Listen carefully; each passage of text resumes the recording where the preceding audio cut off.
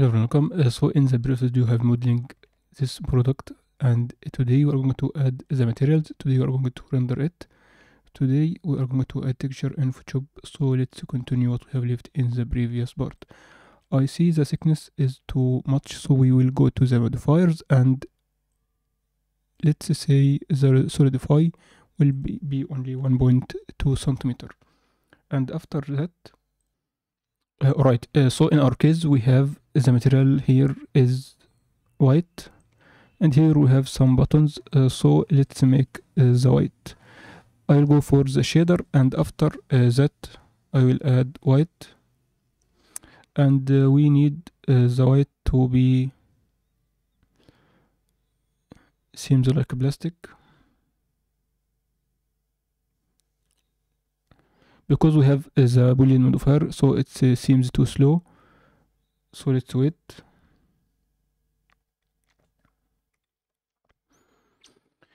Uh, so uh, we can say it will be plastic white of course uh, now we have the blender version 4 and it seems has some principal version 2 bsdf but i'm using 3.6 and uh, both do the job well.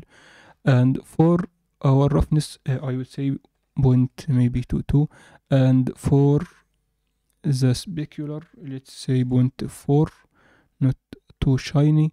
And for the base color I will say it will be maybe here a value point 9 point 95 maybe. And after that uh, uh, we have here uh, we have the holes. So uh, I will add here a cylinder and after that I will scale.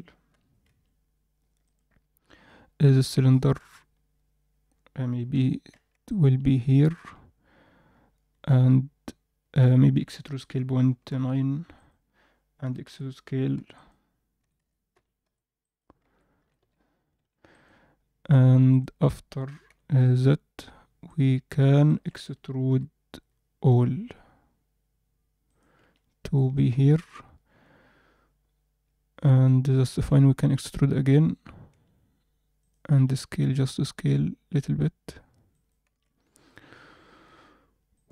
And uh, this will be black. Uh, maybe this black. And uh, we will add the logo. So uh, we have to go here and select all. Uh, maybe maybe select all of uh, these faces and select the plastic white add another material call it logo front. And after that we can unwrap or project from view and assign. I will go for Photoshop and uh, create or make this logo it's very simple text and come back to add this logo to our to our shader. So uh, fortunately I found the logo online as PNG uh, so uh, maybe we can add here the shader editor and after uh, that we can add another principle BSDF and after the principle we can use the node wrangler and using control shift and right click we mix both of these nodes.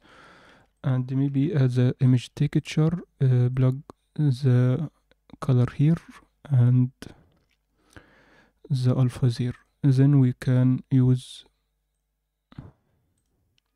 again we can use our logo this LEVOIT import. And if you want to I will show you if you want to use another color. Maybe let's say purple or any red color. You can use of course. And select. Go to the UV and select all.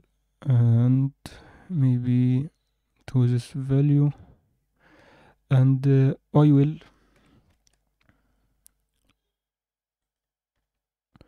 I will go for the shader now and make the image to be clip not repeat let's say see our final result. Uh, when we go to the, the object mode we, we can see the final result. Now it's loading. All right uh, so uh, for this part it will be chrome. Let's see if we can choose some chrome materials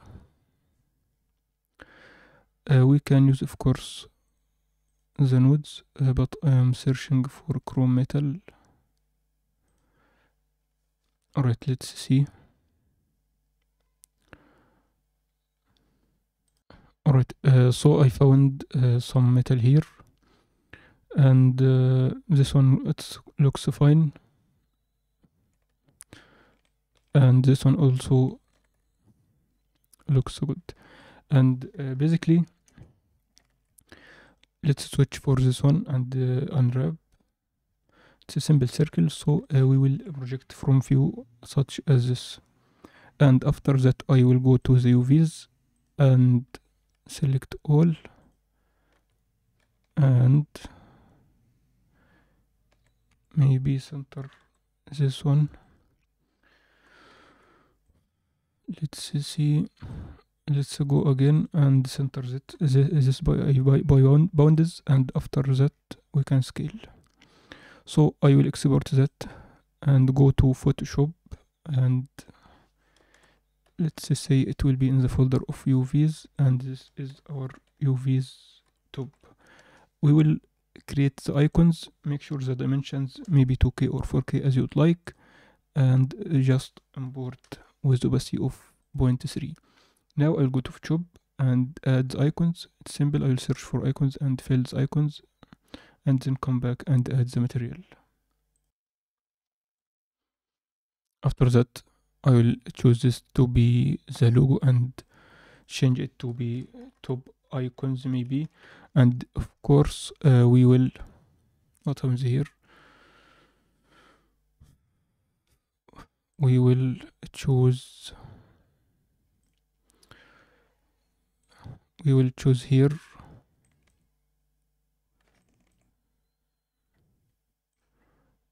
The png from UVs and uh, we will use icons. And for the basic one uh, we will use uh, metal metallic. And this is fine. And the specular maybe point two. And roughness maybe point four. And after that let's see uh, let's wait for the compilation of shaders and this is fine. This is what we need and everything looks okay. Uh, we can increase the principle for this one uh, the roughness decrease the roughness a little bit but it's okay for now. So uh, we are now done and we are now ready for for the rendering. Uh, let's see uh, the rendering in our case is very simple. I don't need that. Uh, so I will add here an plane and move that uh, to be in the maybe other camera collection. And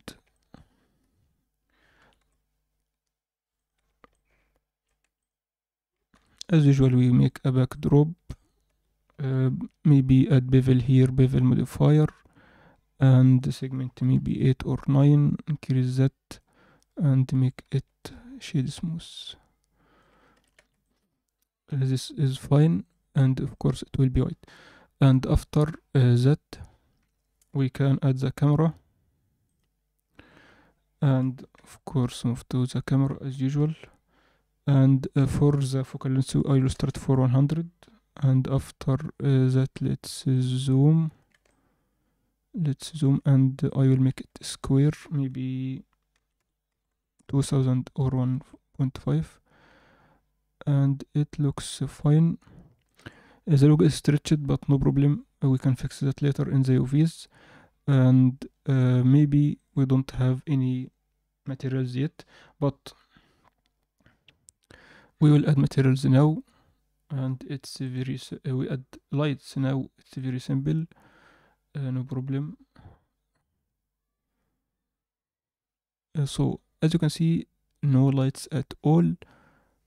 Now I will show you the secret. I will add here an plane and scale it point to maybe 1 and this plane will be here. Just unwrap first. Simple unwrap and alright uh, so I will append some file. I will append in the shaders.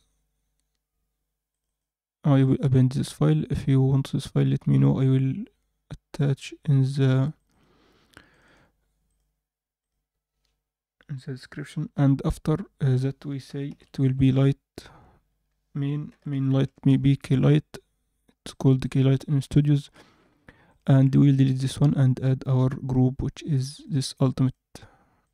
And of course we will add UVs and connect it light intensity maybe 15 fall off we must have some fall off. So if you go here you can see we must have some fall off. And that's it. Of course we can duplicate here and uh, let's say it will be the fill. And uh, of course light maybe maybe 5 and some full off. Of course we can add another one another uh, one maybe here. And go for here and it's let's say it will be single x maybe or double x anything and add some off and uh, now so this one secret for lighting it do the job well. And this is our final render. Uh, for the background of course you can change it as you would like. I found this one looks okay in any black background can do well. And for the for the logo it's stretched so we can scale on y maybe 0.8 yes 0.8 looks fine. And we are now ready to render our our product. Uh, for the render